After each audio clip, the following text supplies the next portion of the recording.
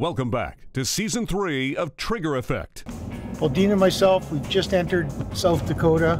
Uh, we got up early this morning, left, got across the border, had no troubles at all.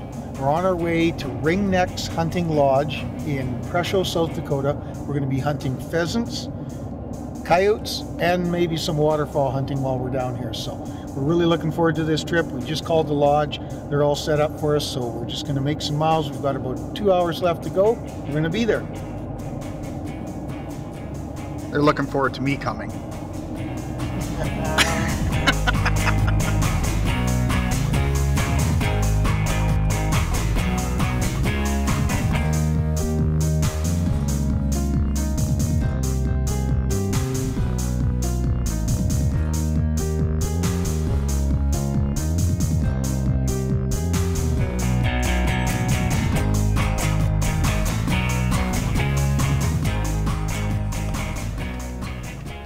Well, we've just arrived in Presho.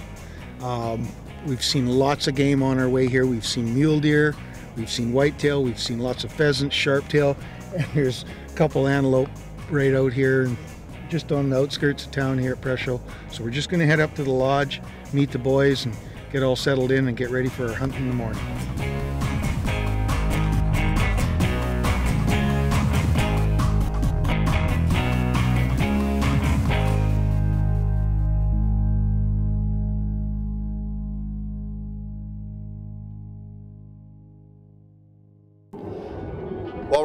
To our first location to do the first set on pheasant, and uh, this is something really new for both Kent and I. I. I mean, we've we've done upland game bird hunting, but in South Dakota here they do it a whole different way, and, and we're pretty excited about it. But uh, you know, it started off with the safety briefing, and then from there we went into kind of the strategy of you know where everybody's going to be located, camera location, stuff like that. And uh, I don't know about you, Kent, but I'm looking forward to this. Oh yeah, I think this is going to be an awesome hunt.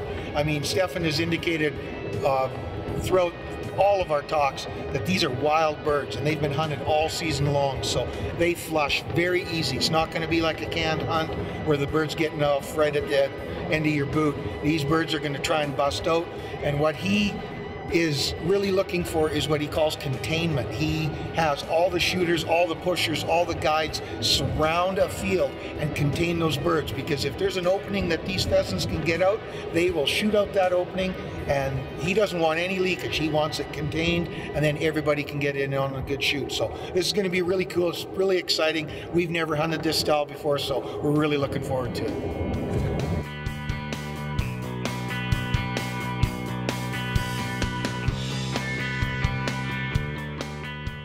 So what we're doing right now, we're on the setup we talked about this morning.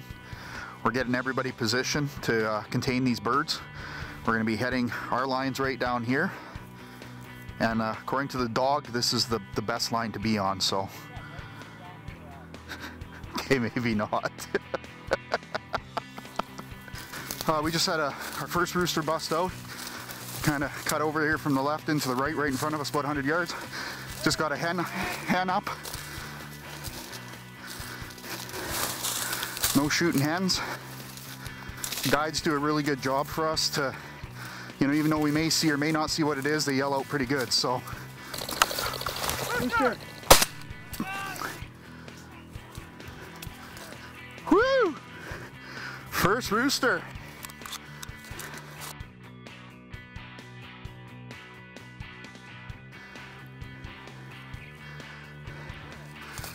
All right, you're on the board. I'm on the board. Up ahead from both sides, hundreds of pheasants have went into the tall stuff. It's incredible. Population here is amazing.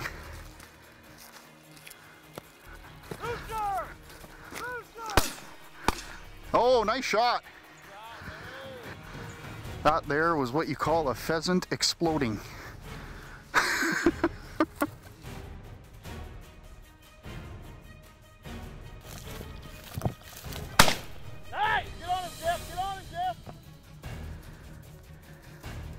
amazing. you know, these birds' are, eyes are maybe 12, 13 inches off the ground. Yet for some reason, inherently, they can figure out exactly where the holes are amongst the hunters. and they take full advantage of it.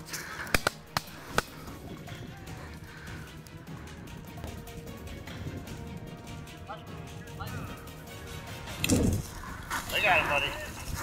Thanks for the help. Good retrieve, Jason. Yeah. Too. Chief, shooting, you're just, you're well rounded there. Right. Well rounded. I don't a dog, so I had to learn to fetch it.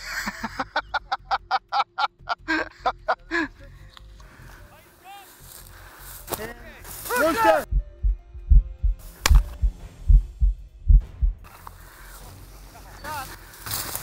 Guess there's one way to go here. yeah.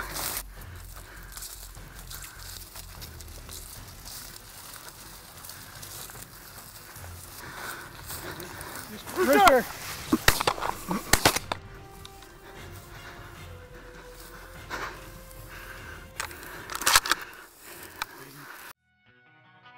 This week's Outfitter Profile. Welcome to Ringnecks Hunting Lodge. My name is Stephan Stanley, owner and operator. Um, my kids are fifth generation of Stanleys here in central South Dakota. My great grandfather homesteaded here over 100 years ago. And uh, since then, we've been farming and preserving the pheasant habitat here in central South Dakota. Our lodge is located in downtown Presho, just off Interstate 90, in the most dense pheasant population in the country. Um, the lodge is conveniently located in the downtown area where we have a grocery store across the street. We have uh, recreation uh, at the bowling alley and we have good dining and uh, nightlife as well here. We cater to a family-friendly atmosphere as well as a corporate hunt. To, we have many package options that include your hunting only with uh, professional guides and dogs to a turnkey operation where you show up with your license and uh, shotguns and we'll take care of you from there. We have uh, airport pickup and delivery as well as field-to-field transportation for you. Here comes the Okay, here we go, bud. Look right there. That's, that's, you can shoot that. It's a chicken right there. Shoot that. Shoot that.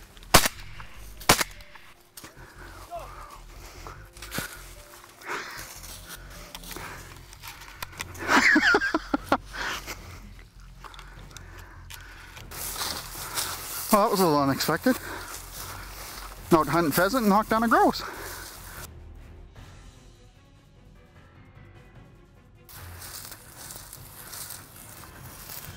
Boy, you're gonna have to tell me if something's coming from the right because I can't see a thing.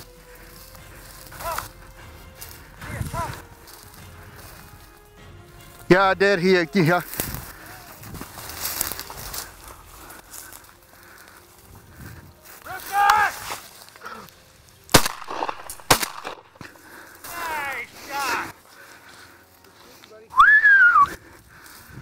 I had, to, I had to wait for it to clear the sun. I couldn't even see. Yeah, I, I had to trust you guys there because all I saw was sun. And there was the bird.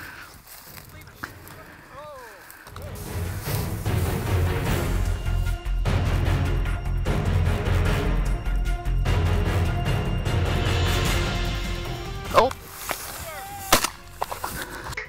You're shooting. good shells. Oh, that was a long way down there. Wow. Here. Here. Here. Here. Leave it. God, good girl, good girl. It's a nice bird. Look at the tail on that thing. long shot, long tail. Now the one thing I gotta say on that last shot, shooting two and three quarter inch number six prairie shot. I know probably 50 yard shot and put the bird down a one. So the kinetic energy and speed of these shells is incredible.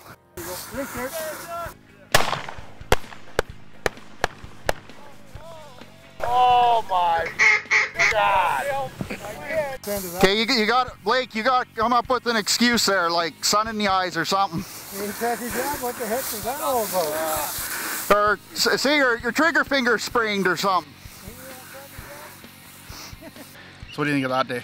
Oh, that was pretty awesome, Dean. I mean, we got, what did we get, 35 We got birds? 35 roosters in total. We had 15 shooters. Uh, I think we hit five different fields. Um, that was an incredible shoot. That was a lot of that fun. was a lot of fun. I mean, I was cameraman today, but I was still having a ball. These birds are fast, they're wild. The biggest part of their hunt is they got to keep them contained because they'll squirt out any opening they, they can. I mean, this is not a canned hunt. This is fantastic shooting. This is great. Well, I got a bit of a kick out of it too because at the very last bird I got was one of the biggest roosters that was taken. But then on top of that, our guide Adam, he was more kicked up about the grouse, which was kind of funny. So yeah, that's right. That's right. He's been waiting all year to have his new pup uh, handle a grouse, and the Trigger Effect team helped him out with that. So, yeah, we- we did. So anyways, we got a big uh, shindig tonight in Presho. So uh, we'll see you tomorrow. yeah, you bet. We're going to be back with more pheasant action. This is the road that we come in on. We come in this direction. Uh, let's see, that makes this north. Uh, we come in over the hill here. It's this. Well, it's the morning of day two. We're just heading out to hit some of the hot spots that Stephan has uh, organized for us. We've got a fairly good sized group of hunters. We had an amazing day yesterday. We we had some really good shoots, some really good pushes. So really looking forward to today.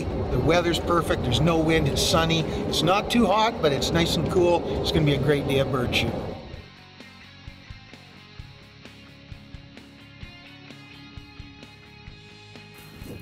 This is our first first push of the morning. We're going to send the dogs into this about five acre slough.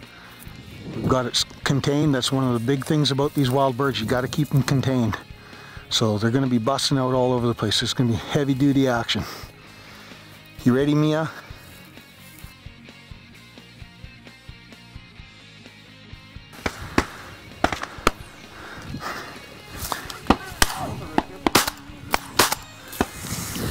Dogs are working some birds that dropped on the other side of the road right now.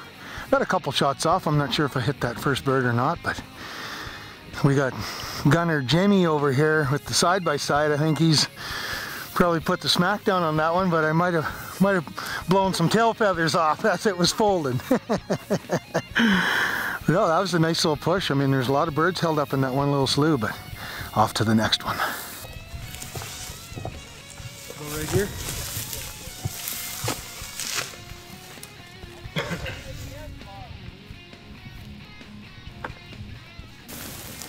Rooster! Rooster! Get that other hand. Hi, I'm trying. Mia's acting birdie. Rooster! Too low. Nice. No shot.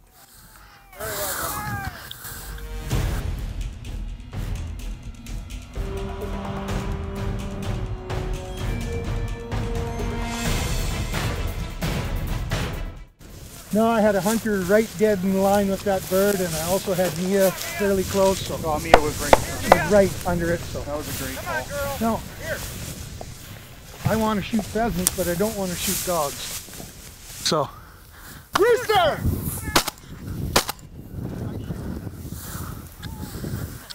Mia, had a girl. Boy.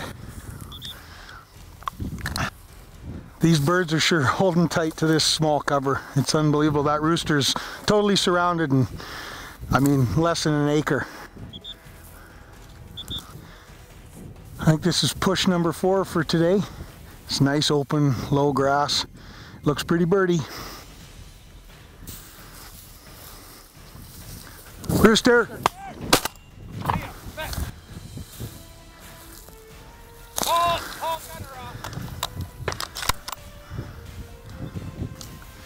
Well, I tell you what, the way these way these pheasants hold tight in this in this cover, I can see why they have to use dogs to flush them out. I mean, a lot of these pheasants are flushing right at our feet.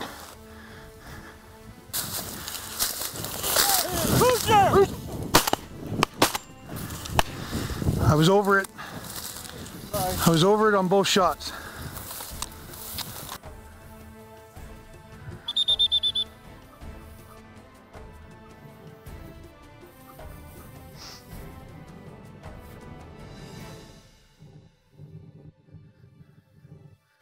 Very nice, Adam. That's awesome. Well, uh, even the best laid plans sometimes fall apart. We had some guys that uh, that didn't quite get into the proper position. We had a lot of birds blow out to the to the uh, east on us, and we're just changing it up a little bit. We're all getting reorganized. We're going to go through these coulees and see if we can't roast anything up.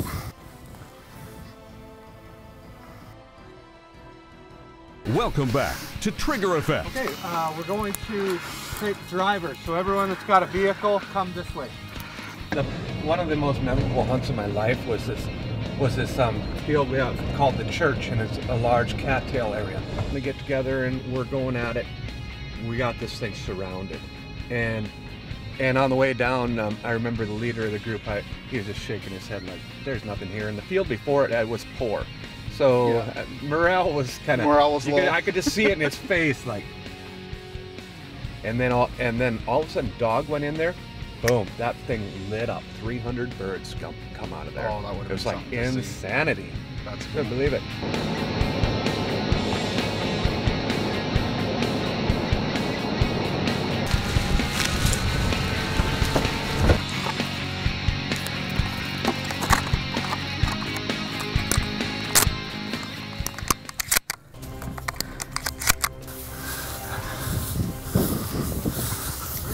Boys.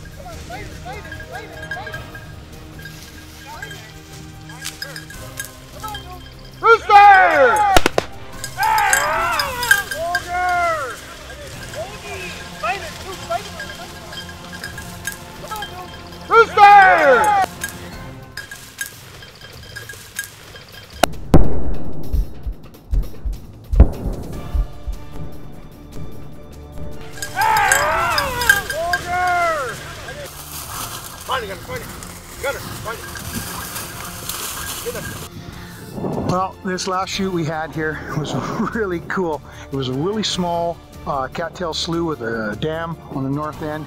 We did a perfect job of containment. We sent a few dogs in and we quickly closed the noose on these birds. Every rooster that popped up, we got within our group. So it was a really, really good shoot. On to the next one.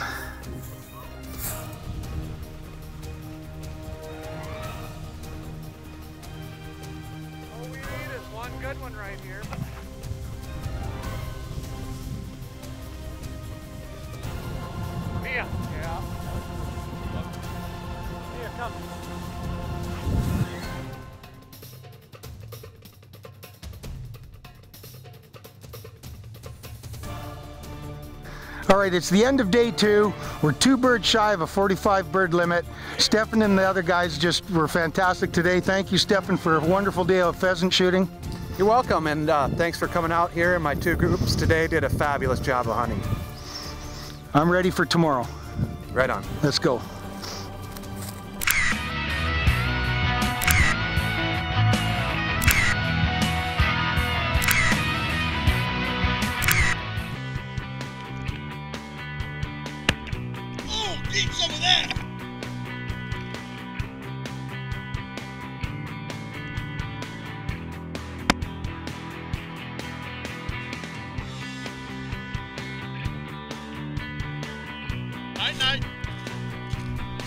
I mean, we've collected a lot of birds, and I'm talking way too long, I can tell, and we're gonna have to do another take.